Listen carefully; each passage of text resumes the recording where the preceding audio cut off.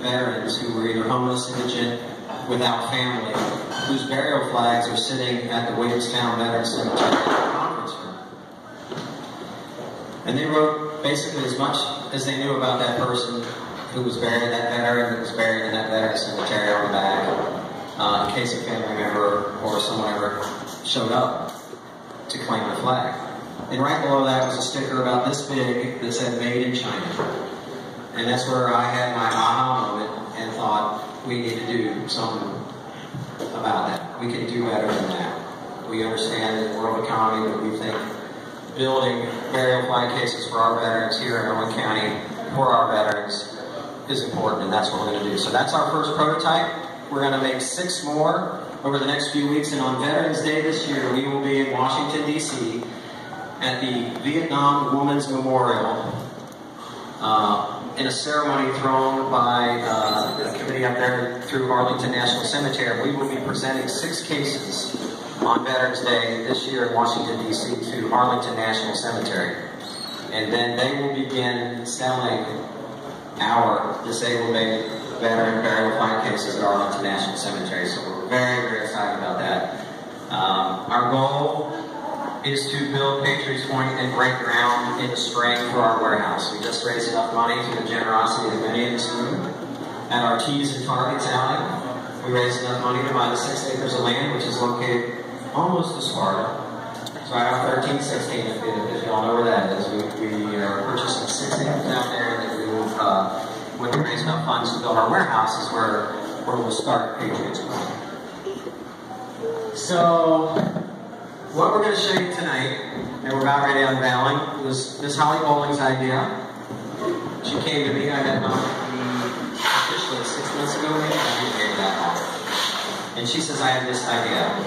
It's a community enhancement program, it's a community patriotism program, it's a community involvement, it's community pride. And I don't know what we want to call it, but it involves these big full color banners of local heroes. And that's where Operation Honors Honor Banner program started. We met with Milkweed. Where's Milkweed? And, and of course, Milkweed being the supporter that he's been of ours since day one said, this is a no-brainer, let's do this. So in a very short period of time, we went and sourced everything we need to make these banners. And some of the people I mentioned, and many more that were involved, like Shannon, Holly, Marlene, and myself, but we just started putting the word out there. We got 54 banners sponsored, printed, ready to go for Sweet Owen Day. We're going to do that unveiling on Sweet Owen Day on Saturday from 10 to 10.30 when we do our banners uh, ceremony. So we are hopeful that everybody in this room Operation Honor breathes.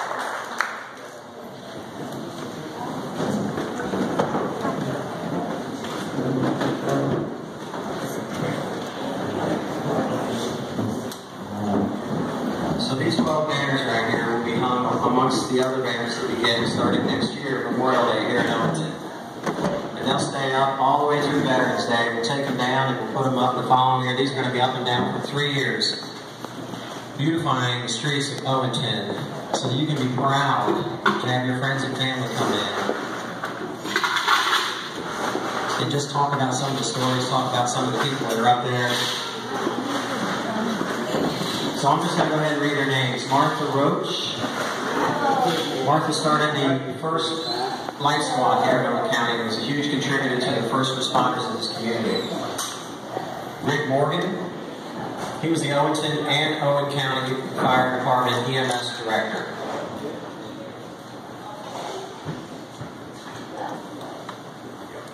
Chief Chase Ball. He was the Jonesville and Owen County Fire Department. James Jim Bob Edward Cook. There you go. He was a United States Army World War II veteran. You want to stand up?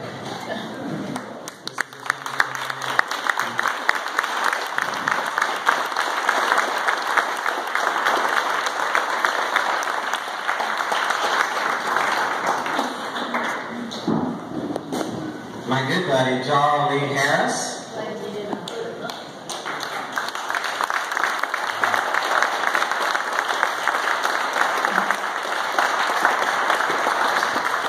We don't have enough time to talk about Charlie. Charlie, when I met him, was just an old fellow around town and made signs. We got to know each other. We've, we've talked a lot. Uh, absolutely love that man to death. He was in World War II and Vietnam with the 101st. So we're very happy to have Charlie with us. June Pryor. How you, Mr. Pryor?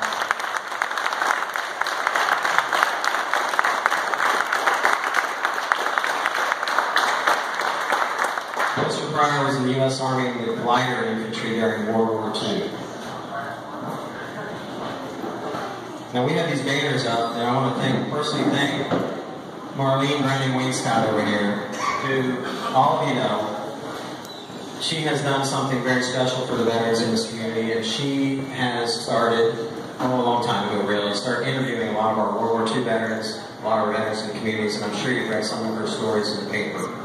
And she's the one that made up these beautiful posters that you'll see hanging on the side here. There's six of them. So after we're done with our presentation, we ask you to take a minute to come up and just read some of the stories about the World War II veterans that are here, or in this particular case, are not here this year.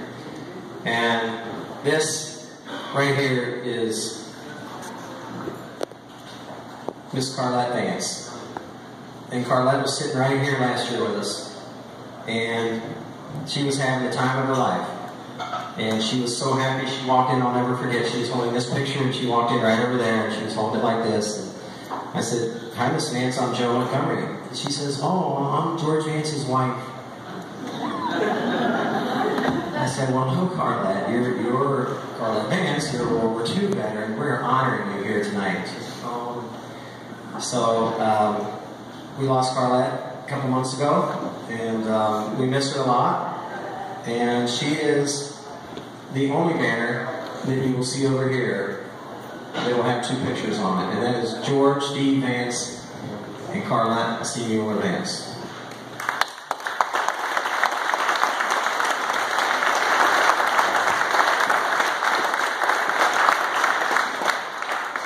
Take a step back and actually those six cases we're going to make for Arlington. Um, Sam is going to put together a case next week. And uh, this is our prototype. We're very proud of that. Came out very well for our first case, cut and hand, uh, you know, uh, doing everything by hand. But we're going to make a case and present it to Jan on behalf of Operation Honor for Carlette's flag. Uh, and we'll be doing that before we, we head to Arlington.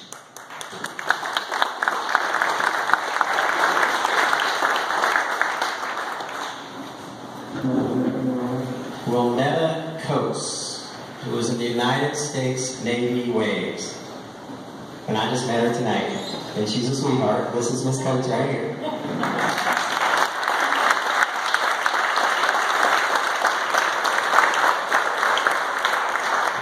We're very, very, very happy to have you here, Miss Coates. Thank you so much for coming.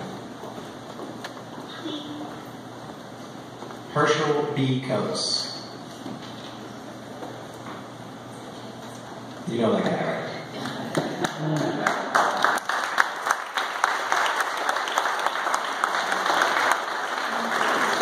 He's a good looking young man. You know.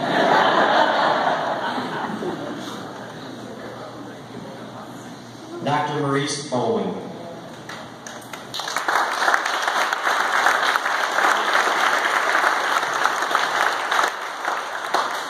Dr. Bowling was in the Marine Corps during World War II. Obviously, has a lot, a lot, a lot of family history in this area. He was the first man we made right there, Dr. Baldwin. I'm gonna skip that next. George Bud Donovan.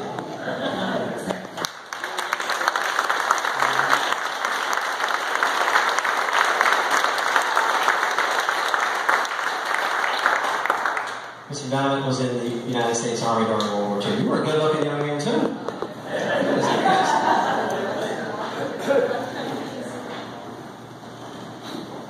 So there's one more banner up there.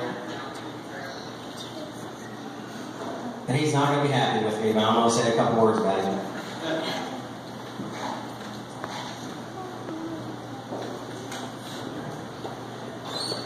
This gentleman was probably the second person I met in this county. He was the first person my wife met in this county.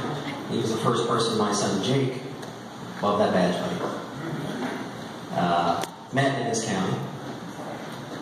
We purchased our farm with Mr. Stafford, and he was just an incredible person to work with. I knew right away um, the type of integrity and caring nature. He was just so very pleasant with us.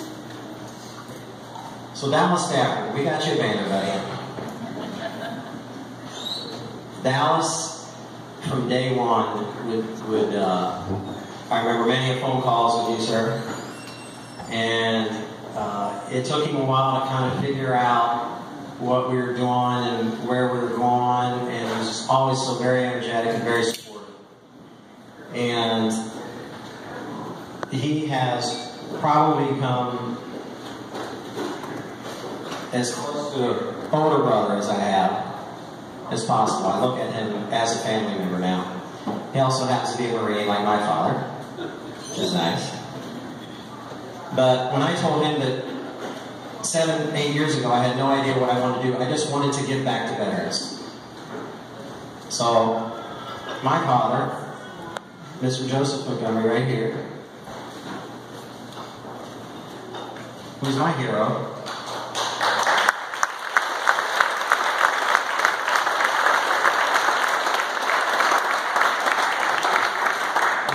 my uncle served. I was the first male in my family not to go into service. My dad's oldest brother, Jim, was in the infantry in World War II in the Army, and his youngest brother, Bob, was a Marine in Vietnam in, in, in what they call the Walking Dead. One night, only 13% of them came back, and my Uncle Bobby was one of them. So I didn't know what I was going to do, where I was going to do. I just wanted to give something back to veterans. It was a hobby. We decided to base it in Owen County, and it was one of the smartest decisions I've ever made because the warmth in this community, the support in this community, the need for a program like this in this community has really been overwhelming. This honor banner program has really been so special to work on. I look at when I when I got the banners, I think Holly called me. She says thanks. I just cried for four straight hours. Marlene cried for eight straight hours. Shannon, I think only cried for two hours. Because um, we, we heard the stories as these people came in, and this is what this is about. You know, we had no idea, like Charlie, and what he did. Um, you know, Mr. Vargas right here. He came last year, didn't he, And my friend Gary Kaufman, who's a veteran over there, who's I've worked with for probably the last seven years, he's the veteran that makes all of our custom cornhole bags that we shipped all over the world to to uh, to our troops. And he says, I got a buddy, Bill Vargas. Yeah, he's in World War II. Yeah, uh, okay, well, you know, can you send me a little about him? He sent me the story, and I was just in awe. This gentleman was on the last destroyer in World War II the Pacific to be sunk by a kamikaze plane. How long were you in the water? How long were you in the water?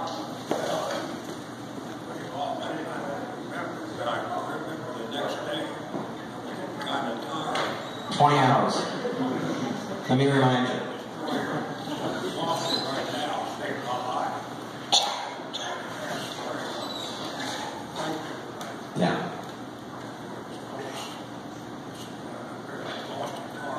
So he went just this past year to the destroyer that's up in Boston Harbor and thanked all those gentlemen because they saved his life.